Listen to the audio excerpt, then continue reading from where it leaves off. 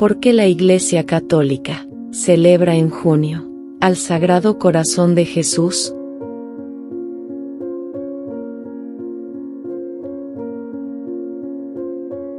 En la Iglesia Católica, el mes de junio está dedicado especialmente al Sagrado Corazón de Jesús. Para recordar el amor fiel e incondicional de Cristo por la humanidad. Además, se trata de una devoción querida por nuestro Señor y que hunde sus raíces en los orígenes del cristianismo. La devoción al corazón de Jesús ha existido desde que los primeros cristianos meditaban sobre el costado y el corazón abierto del Señor. Por otro lado, el 16 de junio de 1675, Jesús le pidió a una santa que alentara la devoción a su sagrado corazón. Ese día, el Hijo de Dios, se le apareció en Francia a Santa Margarita María de Alacoque, religiosa francesa de la Orden de la Visitación de Santa María, y le mostró su corazón.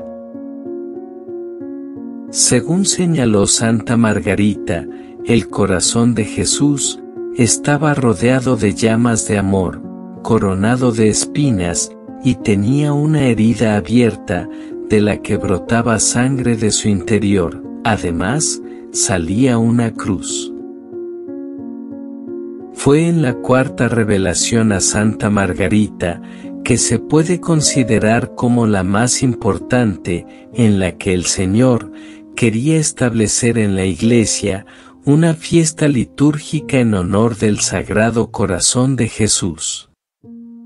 Sucedió esta revelación en el curso de la octava del Corpus Christi del año 1675, o sea entre el 13 y el 20 de junio. Cuenta Margarita. Estando ante el Santísimo Sacramento, un día de su octava, y queriendo tributarle amor, por su tan gran amor, me dijo el Señor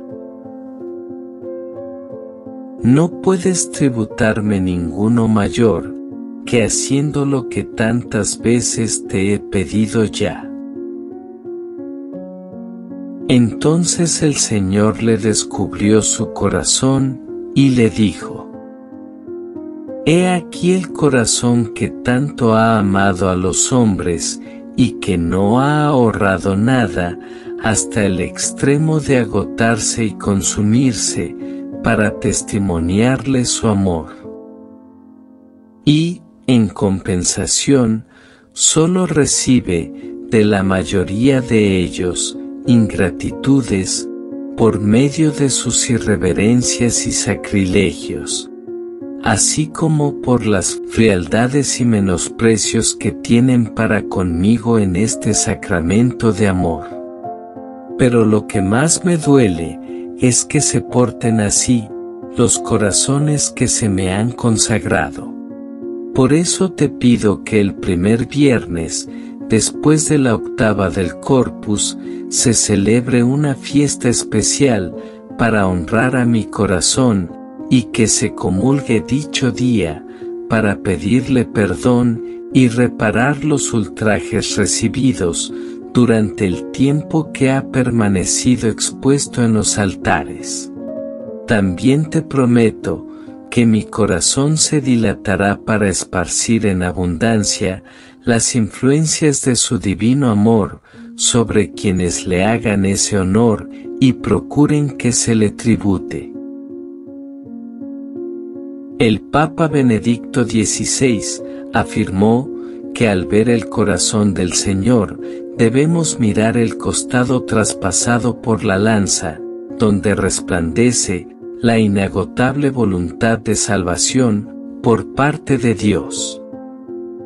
Asimismo, subrayó que no puede considerarse culto pasajero o de devoción, la adoración del amor de Dios, que ha encontrado en el símbolo del corazón traspasado.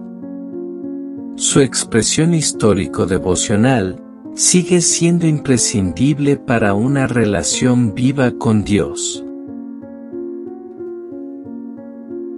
Es por eso que en este mes los católicos estamos llamados a demostrar con nuestras obras la devoción a su amoroso corazón.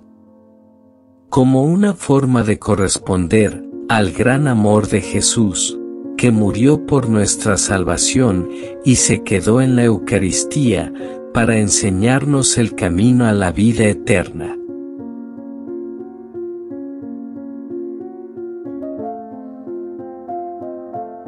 Sagrado Corazón de Jesús, en vos confío.